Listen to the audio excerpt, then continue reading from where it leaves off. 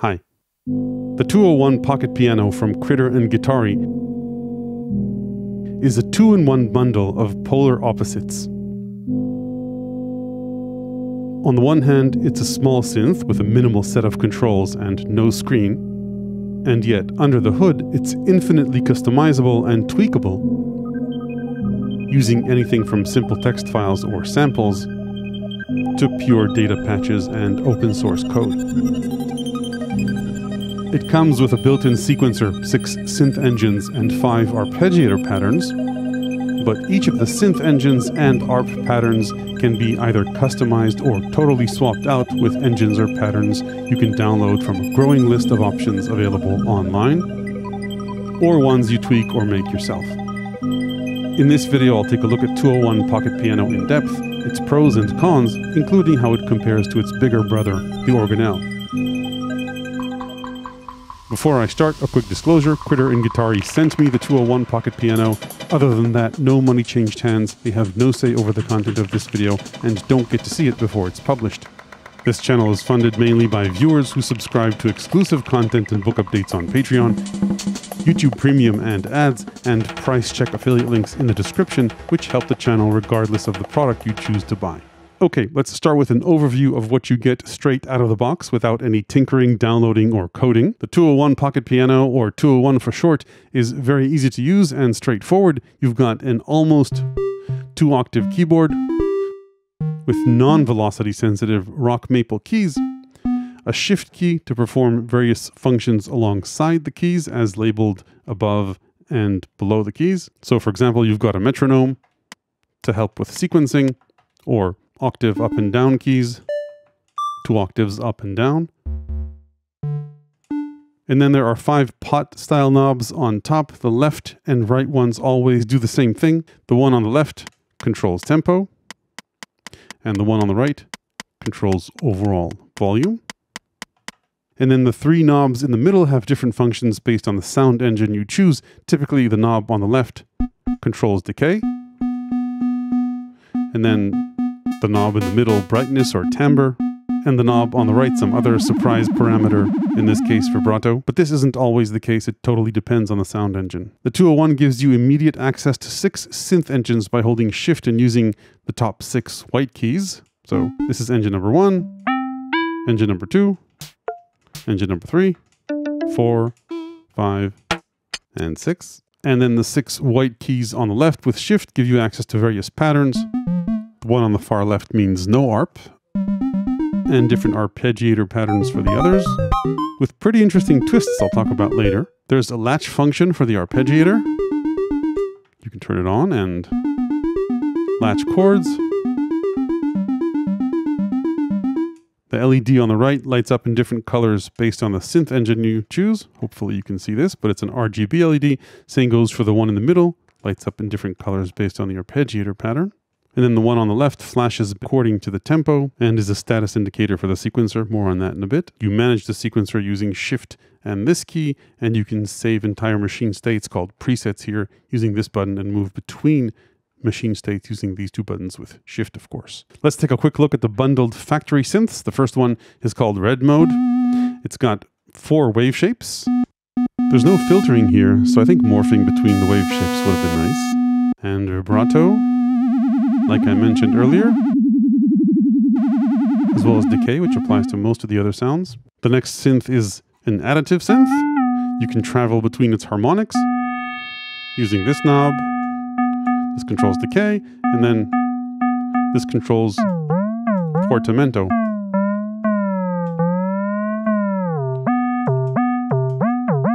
Number three is a drum synth, where each key is a different drum synth. Various sound design controls.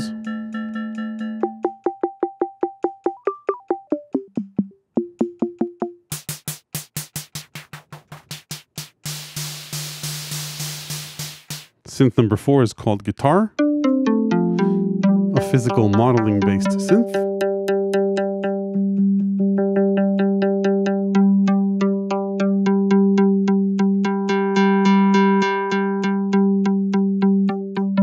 Number five is Vocal 2. It's a formant based synth. So this is great for creating vocal or formant style sounds. And then synth number six is sample, which, as its name implies, plays different samples across the keyboard, in this case a drum kit, and if you transpose it up and down, it'll play different samples. The knobs here control decay and pitch and randomization.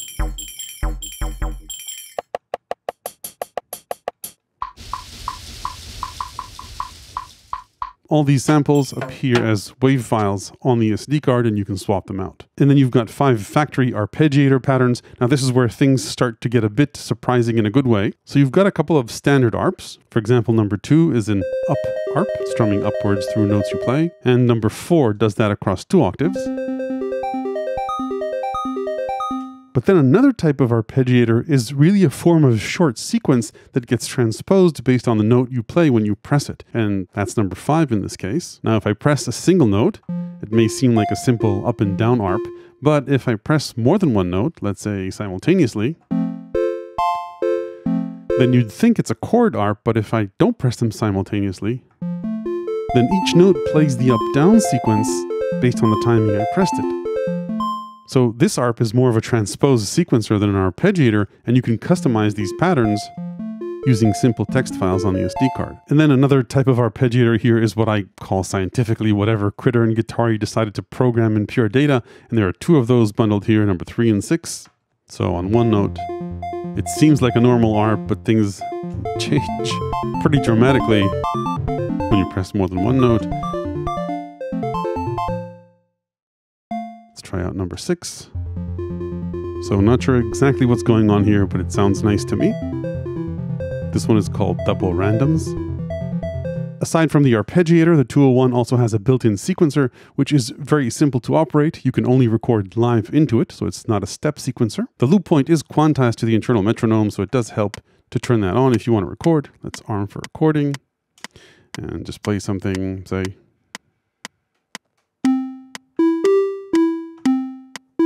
that's how you record a sequence. The sequencer can also record arpeggiator patterns and knob motions. So let's say use this arp pattern, arm recording, and and we've now recorded the arpeggiator and knob motion together. And you can also record knob motions without recording notes. So let's say go into the sampler and let's say we wanted to record this knob motion. So hit arm to record and we now have a form of LFO recorded. So if we hold the note now, you'll hear this knob motion and it'll change based on the tempo rate. So that's a nice way to make a custom motion recorded LFO and control its rate using the tempo knob. And then the 201's polyphony depends on the patch. So some patches are monophonic,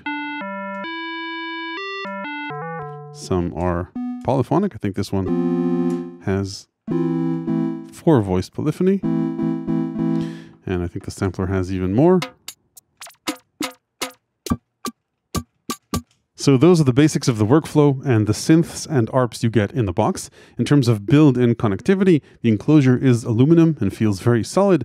The buttons and pots feel good. There's a built-in speaker, which is relatively speaking okay. The 201 can be battery powered with three AA batteries. Just make sure you have a screwdriver handy to open the compartment. And then in terms of connectivity, you've got TRS Type A MIDI ins and outs. And then you've got a USB type A jack, which you can use, say, to connect an external MIDI controller if you want to play these patches with velocity sensitive keys if the patch is programmed to accept velocity. And you can also use either the MIDI out or the USB type A jack to sequence an external synth, say to use the interesting arpeggiator with an external sound source. The 201 can also follow external MIDI clock, whether over USB or the TRS connection. Then you've got an SD card slot to store the operating system and factory and user arpeggiator, sound engines, and samples. It comes with an 8 gigabyte card, but for now it can only be formatted as a 512 megabyte partition, of which about 200 megabytes are available for user samples and patches. Then you've got a USB Type C jack for power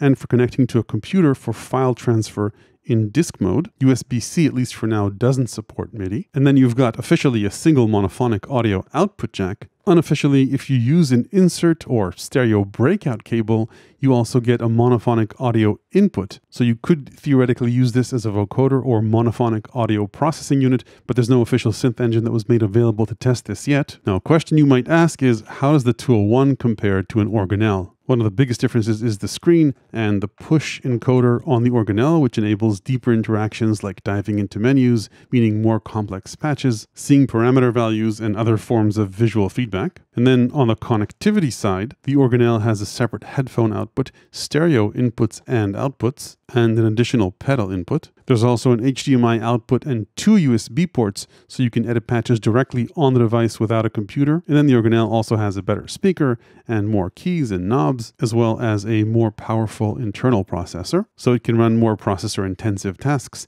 and even multiple sound engines simultaneously using the open source ORAC platform. On the other hand, the organelle also costs more, and there's something to be said for simplicity, along with fast and immediate access to transpose controls. So those are the main differences between the two. One of the things that make both great is the fact that you can swap out the factory synths and add, in this case, both synths and arpeggiator patterns made either by the community, the company, or if you have the time, ones you make yourself. Even if you don't want to look at a line of code or pure data, as I make this video, there are quite a few additional synth engines and arpeggiator patterns available on patchstorage.com. Many of these are by Critter and Guitari, but there are a few third-party ones, and while you can't load organelle patches directly onto the Pocket Piano, since organelle and the 201 are based on the same ARM architecture, it's not a complete rewrite to convert patches from one to the other, which is pretty promising considering that there are hundreds of organelle patches available on patch storage as well. But just to be clear, they're not immediately compatible. Someone has to take these patches and convert them to the 201. Loading up patches is easy once you download either an arpeggiator or synth onto your hard drive. You hit these three keys and shift to go into drive mode, and you simply drag and drop additional synth engine or arpeggiator patterns onto these folders on the SD card. Presets, by the way, meaning sequences, are stored in text files in these folders. Anyway, once you've added the synths into these folders, you pick the ones you want to be loaded up by putting numbers in the beginning of their name. So, and I'm going to fast forward through this. You rename the ones you don't want to anything that doesn't start with a number, and then add numbers to the ones you want. While we're at it, same goes for the arpeggiator patterns. So maybe let's just replace these with maybe this and this. And then hit the magic combo for reload, which is this. And we now have six new synth engines and three new arpeggiator patterns. So number one, for example, is 201 Pacifica, a multi-sampled vibraphone. And number three is a resonant low-pass filter patch.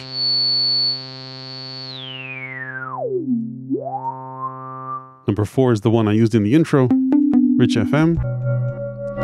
Has a bunch of really nice algorithms and timbre controls. And then number five is a Mellotron. You need to download extra samples for this. I only downloaded two of them, so I've got two engines in here. And it's got a few parameters that you control not only with these knobs, but also with shift and the knobs. So this is the uh, classic Mellotron flute. And you've got pitch control here. Then a bonus shift parameter, which is tape warble. Which can get a bit crazy.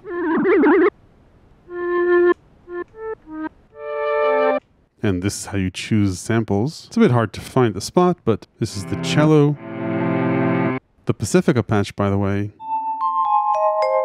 is also a relatively simple patch that just plays multi-samples in a folder. Each MIDI note gets a different sample. So if you want to sample any other hardware or software instrument, you can use a free auto sampling tool like MPC Beats, rename the files based on their MIDI notes, which might be a bit tedious, but then you've got a very portable multi-sampled instrument to go. Then in terms of custom ARPs, this one's an interesting one where each subsequent note you hold plays at a different rhythmic interval. So first one. Of course, when you play the note matters too because this is based on small sequences. If you play them all at the same time, you get this pattern. All these text-based patterns have text files that you can edit, which control note pitch, velocity, and rests. So these are previews of the files. They're pretty easy to edit. I won't cover this because Critter and Guitari have a great video about this on their channel. And then if you want to take things to the next level, you can create your own custom synths using Pure Data and other open source tools. You can start patches from scratch, but it's always useful to load up an existing patch and take a look at what's going on under the hood. For those of you not familiar with Pure Data, it's an open source visual programming language for creating musical instruments. To really oversimplify it, programming Pure Data is similar to hooking up guitar pedals or Eurorack modules to each other, except these modules can do a lot more and are much less appealing visually. Now, currently there are two ways to edit patches on the 201. What I just did, which is opening up a pure data file from the internal SD card, doesn't let you hear changes in real time. So you'll have to make changes, save them to the SD card, and then reload the patch. An interesting alternative to this cumbersome process is an editing environment made by Martin Werner, aka Twang69, called Mother-in-Law, available for free on Patch Storage. This lets you run and preview 201 patches directly on your computer as long as they don't use any external compiled objects that don't have a version compiled to whatever OS your computer is running on. Unfortunately, this applies to most of the factory patches, so you'll get a bunch of error messages here, but the simple sample-based ones work just fine, and I took a patch by Martin, that's the Pacifica Tool 1 patch, that's this one over here, and I made a few changes to it. So for example, theoretically, the 201 doesn't have any built-in effects, but you can make plenty of great effects in Pure Data. What I did here is hack into the output of the patch, add a delay line that I wrote the audio into, then I pick up that audio in two different taps, and feed that audio back into the signal chain and then as a bonus feature, hijack knob 2 to control the feedback, the delay feedback. So this is the original patch, and this is my patch with delay taps. So if I have feedback all the way down, you'll just hear the two taps, and as I increase feedback, things get crazy into self-oscillation.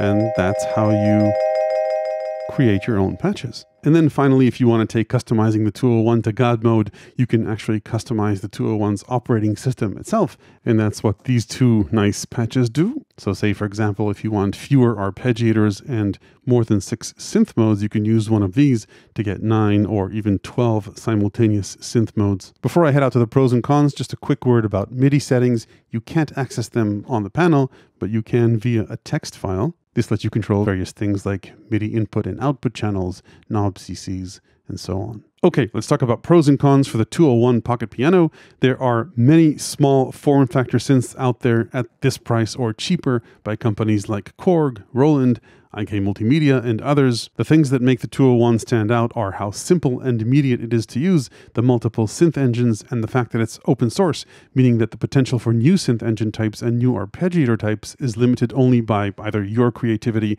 or the willingness of its user community to develop for it, and of course the available CPU power. The only other multi-synth engine option at this price range that I can think of is the formidable Microfreak from Arturia. While it's not open source, Arturia has done an amazing job of enhancing it with multiple synth engines. Microfreak also has plenty of hands-on sound design controls as opposed to only three knobs on the 201. Now, you can have as many LFOs, envelopes, and even effects like I showed you earlier on the 201, presuming that you make your own using pure data, which requires quite a learning curve or if somebody else made those patches. But in terms of hands-on controls, this is probably as minimalist as it gets. Other cons are the lack of a screen, so you can't see synth names or parameter names or values, and the fact that the keys aren't velocity sensitive. Aside from those things, Critter and Guitari have carved quite an interesting niche for themselves. No other hardware manufacturer that I'm familiar with offers a synth at anywhere near this price or the organelle's price that lets you create your own synth patches and arpeggiator patterns which makes this quite unique. And if you value those things wrapped up with very minimalist controls, then this is well worth a look. So that's it for 201 Pocket Piano. If you liked the insights in this video, there are plenty more in my ever expanding book of electronic music ideas, tips, and tricks available to the people who support this channel on Patreon. Hit like if this was useful, ring the YouTube bell below if you want to make sure you don't miss the next one. Thanks for watching.